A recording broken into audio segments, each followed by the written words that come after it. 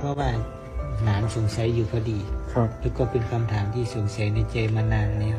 ใครตอบก็ไม่ตรงกับใจสักที ครับ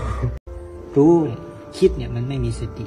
เขาเรียกว่าความคิดทุกอย่างไม่ว่าจะคิดเนี่ยคือความฟุ้งซ่านทั้งหมด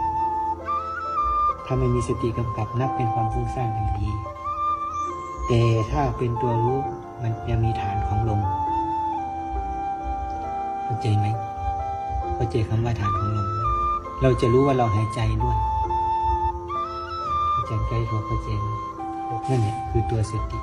ถ้าคิดด้วยแล้วรู้ว่าตัวเองหายใจด้วยนั่นแหละคือตัวรู้ เพราะฉะนั้นจะทำอะไรสูดลมหายใจซะก่อน แค่สูดลมหายใจสติจะกลับมาอยู่ที่ตัวเราเพราะเรารู้ตัวเอง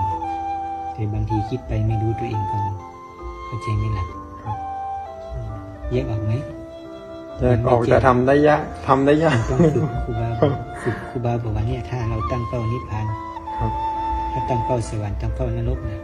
สมมติว่าเนี่ยสวรรค์นี่นรกสมมตินะครับมันจะลำบากแค่ไหนก็แล้วแต่ระหว่างที่แต่ปลายทางมันก็คือ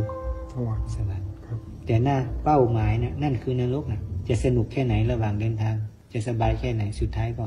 นรกนรก ลองหดูมายความว่ามันต้องมีกายันสติไปตัวทุกอย่างครับ สุดท้ายกายเวทต้องนารู้จิตัวตธรรมมันถึงรวมกันเป็นหนึ่งพูดตัวแล้วก็ถึงเป็นความคิดติดถ้าอันว่าตเป็นรายรู้ถ้าเป็นรู้ถ้ารู้ตัวถึงจะโลภมันก็ไม่เป็นอะไร จะโกรธมันก็ไม่เป็นอันตราย